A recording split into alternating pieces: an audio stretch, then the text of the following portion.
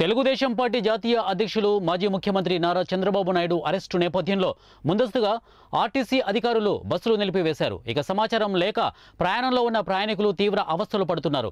సుదూర ప్రాంతాలకు ప్రయాణించాల్సిన ప్రయాణికులు చిన్నపిల్లలతో బస్సులు లేకపోవడంతో తీవ్ర ఇబ్బందులు పడుతున్న పరిస్థితులు వివిధ ప్రాంతాలకు హాజరు కావాల్సిన ఉద్యోగస్తులు వాహన సౌకర్యం లేక తీవ్ర ఇబ్బందులు పడుతున్నారు.